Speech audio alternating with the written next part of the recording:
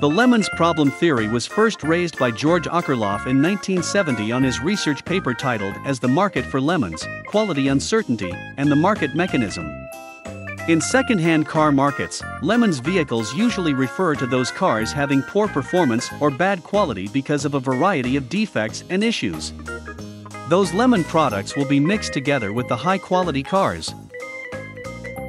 Compared with the sellers, due to the lack of adequate information, it is very hard for buyers to identify the actual quality of a car. To avoid buying those low quality lemon vehicles, buyers have to lower the bid price to decrease the potential loss in case of picking up a lemon car.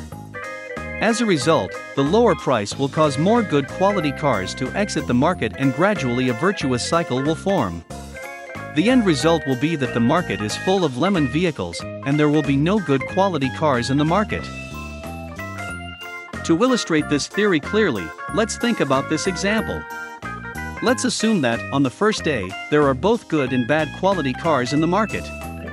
For every 100 second hand cars, there are 50 good quality cars and 50 poor quality cars. The real value of the better quality car is $40,000, and the real value of the poor quality one is $20,000. However, due to the fact that the seller will know exactly whether their car is a good one or a bad one, but the buyer do not know for sure if that one is good or bad. For those smart sellers, the best strategy is to declare that their car is a good one because the buyer cannot tell the difference. So, although 50% of the cars in the market are bad quality cars, when buyers are asking for the quality for a specific car, all they can get from sellers is this car is a good quality car.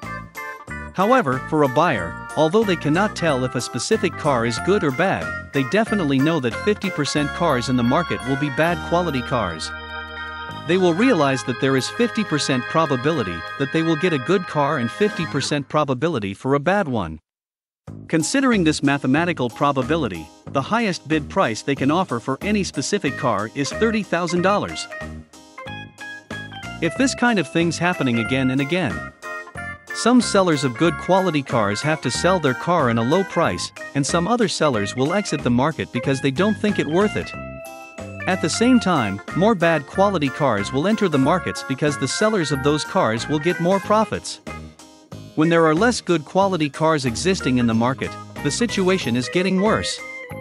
For example, let's assume that the ratio of good quality cars to bad quality cars is dropping from 1 to 1 to 1 to 3.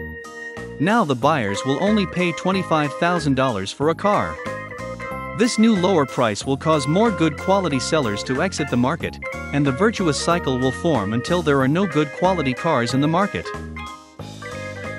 The cause of the lemon problem is the asymmetric information achieved in sellers and buyers. The sellers know the status of the product while the buyers do not. In extreme circumstances, the good quality products will be pushed out of the market and the market will shrink over time. The solution for the lemon problem will be providing sufficient information to buyers to let them know the exact quality of the products. In addition, there should be some places for the buyers to provide feedback or reviews for each seller. Also, some emerging technologies such as big data can help buyers to get better knowledge about the product. Nowadays, lots of countries has corresponding lemon laws which can help regulating the market and buyers can ensure that quality-wise, they can get what they paid for. Thanks for watching. If you like the video, please hit the like button or subscribe button for more interesting topics.